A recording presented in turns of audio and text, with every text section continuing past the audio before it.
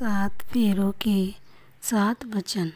पहला वचन, यदि आप कभी तीर्थ यात्रा के लिए जाओ तो मुझे साथ लेकर जाओगे।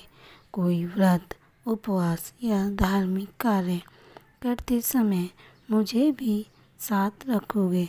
यदि ये वचन देते हो तो मैं आपके वाम अंग आना स्वीकार करती हूँ। दूसरा वचन आप जिस तरह अपने माता पिता का सम्मान करते हैं, उसी तरह मेरे माता पिता का भी हमेशा सम्मान करेंगे तथा परिवार की मर्यादा का निर्वाह करते हुए ईश्वर की भक्ति और धर्म अनुष्ठान करते रहेंगे। यदि ये वचन देते हो तो मैं आपके वाम अंग आना स्वीकार करती हूँ। तीसरा वचन।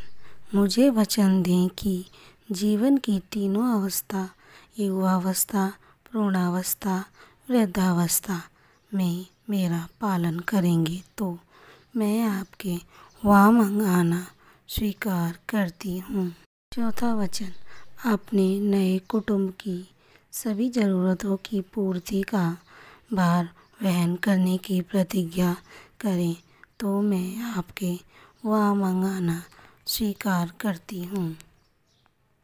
पाँचवा वचन, घरेलू कामकाज लेन देन शादी, ब्याह या अन्य घर खर्च से संबंधित काम करते समय मुझसे भी मंत्रणा करने का वचन दें तो मैं आपके वाम मंगाना स्वीकार करती हूँ। छठा वचन, यदि मैं अपनी सखी सहेलियों के साथ हूँ तो उनके सामने आप मेरा किसी भी प्रकार का अपमान नहीं करेंगे।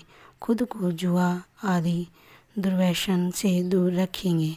यह वचन देते हो तो मैं आपके वहाँ मंगाना स्वीकार करती हूँ। सातवां वचन, पराई स्त्री को माता के समान समझेंगे और पति पत्नी के आपसी स्नेह के बीच किसी अन्य को नहीं लाएँगे। तो मैं आपके वहाँ मंगाना स्वीकार करती हूँ।